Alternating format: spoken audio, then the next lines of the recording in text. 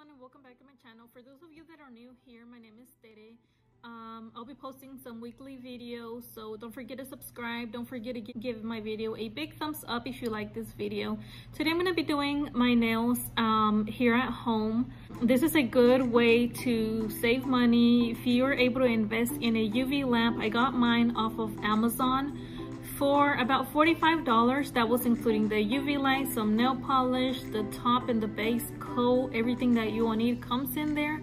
This is a good way to save money. If you're if you go to a nail salon, it'll cost you around 30 to $60 and the whole kit cost me $45. So yeah, every time you go, it'll cost you, I'll say $35. So you'll be saving a lot of money. That's why I um, purchased mine because I was tired of paying them 35 when I could be doing them myself.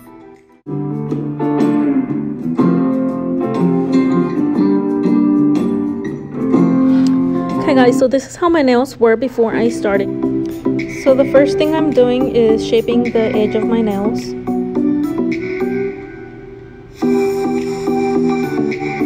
And now that they're nice and clean, I'm going to be applying the base coat. And then I'm going to be curing it with my UV lamp for about 60 seconds.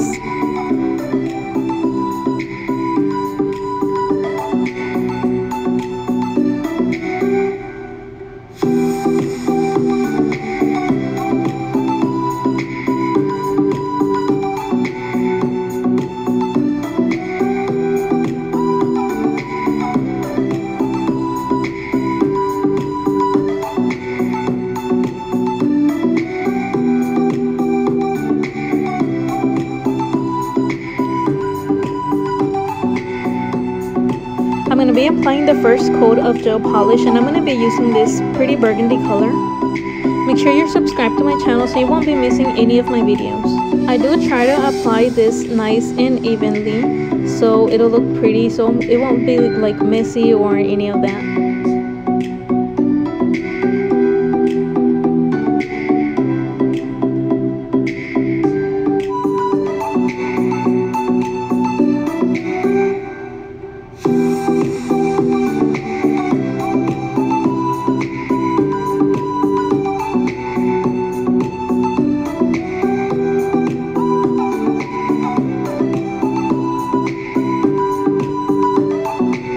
So the first gel um, coat I'm going to be curing for 120 seconds.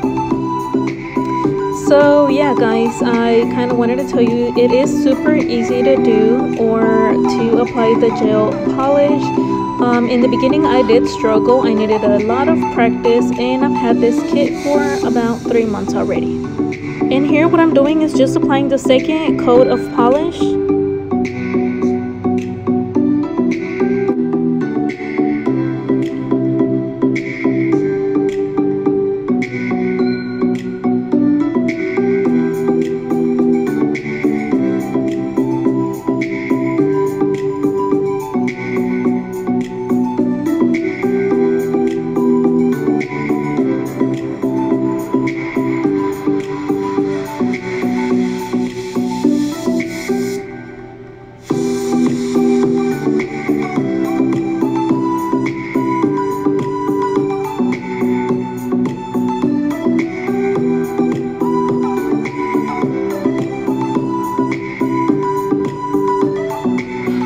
we are done with the second coat let me tell you they are super super pretty. You guys thank you so much and i will see you guys on the next one